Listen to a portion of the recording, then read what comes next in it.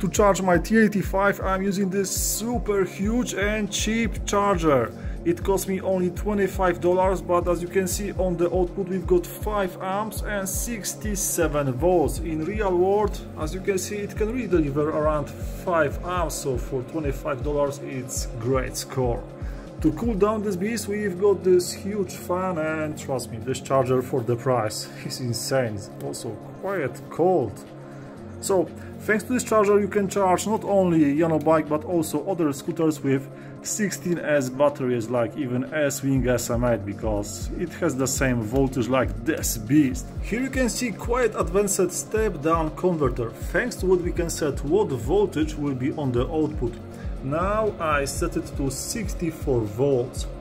Thanks to it lifespan of battery pack in my Janobike T85 will be well way better. Also, you can set what voltage you like and in my case I'm using XT60, XT30 connector but yeah, you can just use any kind of connector you like and thanks to this set you can not only charge Janobike T85 but also some kind of Langfeite L8 or Xiaomi M365 because honestly you can set what voltage you like like over here you can see just click now this thing and now we've got 64 volts.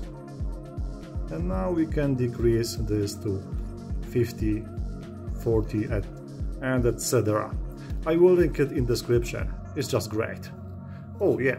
Also you can set output amperage. So 4 now we've got 1 amp. So everything for the amperage between 0 to 5 amps and for the voltage I think between 0 to up to 80 volts. And you can connect to this step down converter even 90 volts charger which also I got. Looks like it's the same size like this big charger. It's this charger is bigger than my hands. Check this one out.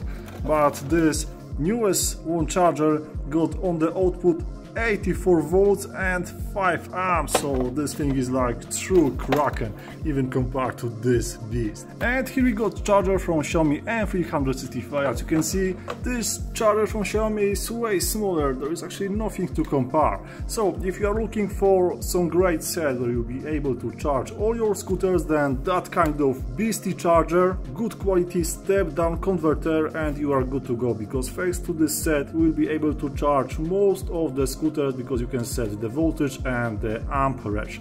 Also, don't forget about the connectors, because in scooters, in stock versions, we've got these microphone connect connectors which are quite dangerous to use, like honestly. That's why I changed it in all my scooters connectors to XT30, like over here. And even you can see it in my Janobike T85.